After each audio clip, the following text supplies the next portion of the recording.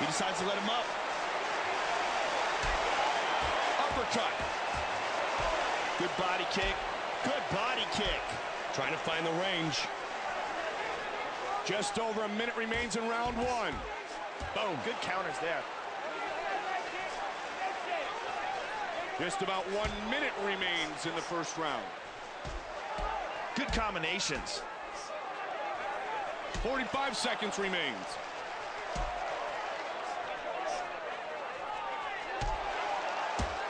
Round one has 30 seconds remaining.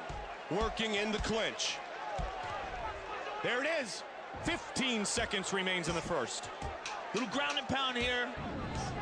Final seconds, trying to set up a submission. Joe, there's no doubt who won that round. No doubt what.